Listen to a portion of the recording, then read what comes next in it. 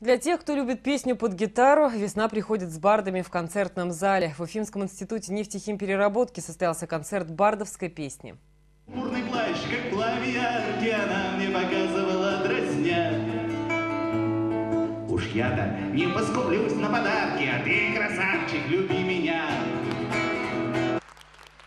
Вот уже пять лет, как вновь стали собираться члены клуба самодеятельной песни, некогда созданного студентами Уфимского нефтяного института. Студенческий задор, молодость души, желание петь и сочинять для друзей – главный связующий клуба «Белый ворон», в состав которого входят лучшие барды нашей республики. На встрече любителей авторской песни своими произведениями слушателей порадовали Рустем Якупов и Александр Мичурин. Мероприятие это, как и четверть века назад, прошло под предводительством организатора клуба Ильшада Теляшева.